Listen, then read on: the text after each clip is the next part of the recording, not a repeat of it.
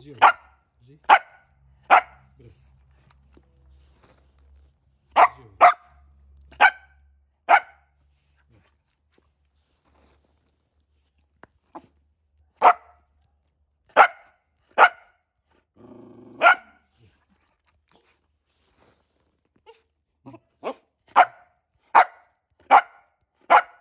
Bravo, forte.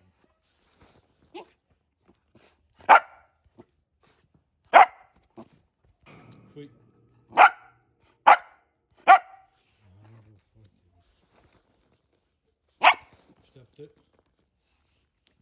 Come on.